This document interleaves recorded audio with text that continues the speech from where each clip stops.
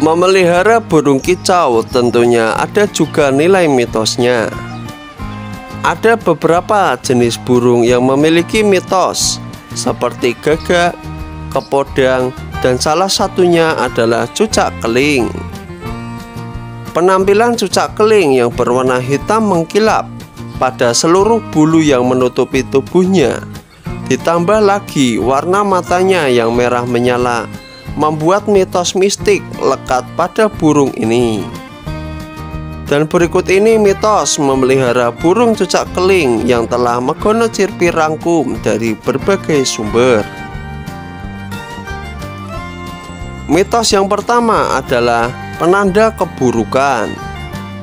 Keberadaan cucak keling di sekitar rumah atau halaman pekarangan dipercaya akan datangnya keburukan pada rumah tersebut yang menimpa salah satu anggota keluarga atau penghuninya.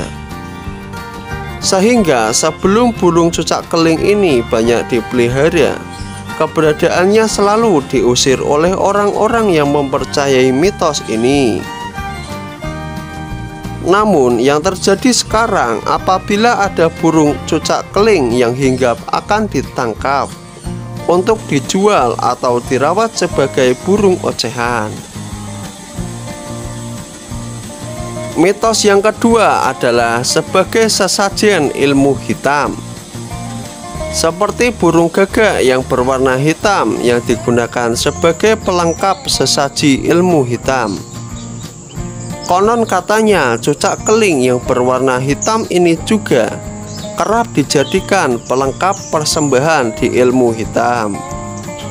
Sampai saat ini kebenarannya masih simpang siur yang berkembang di kalangan masyarakat yang percaya terhadap mitos ini.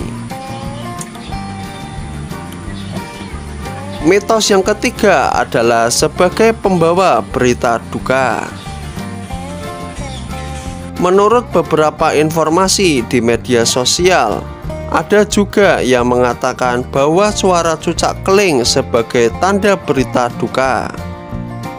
Jika terdengar kicauan burung cucak keling di sebuah desa, menandakan akan ada penduduk yang meninggal dunia.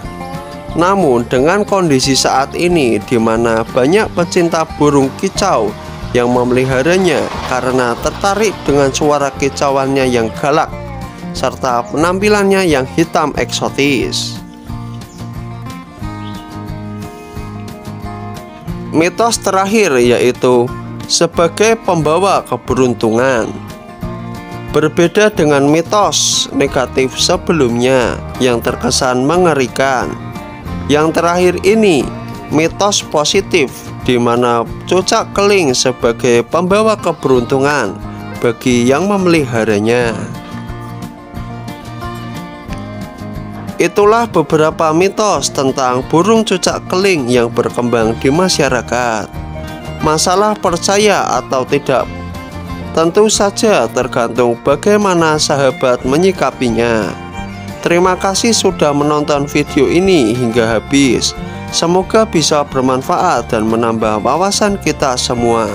Sekian dan terima kasih.